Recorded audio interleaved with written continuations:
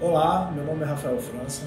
Eu sou Fernando Rabelo. A gente gostaria de fazer uma chamada de um post que a gente está publicando agora mesmo sobre o histórico do The Light of the Darkness, o que aconteceu durante o desenvolvimento, as mudanças que foram feitas, os percalços que a gente teve, uma timeline desses anos de desenvolvimento e outros assuntos relacionados com decisões que a gente tem que tomar e que a gente precisa do feedback da comunidade, principalmente agora com esse fomento do Startup Rio então a gente queria falar um pouco do piloto do Last Darkness feito na Cephus Engine, a migração para Unreal e sobre outros assuntos. Quem tiver interesse, dá uma lida nesse post, que é bastante extenso, e comentem, postem seu feedback, que é o que a gente precisa.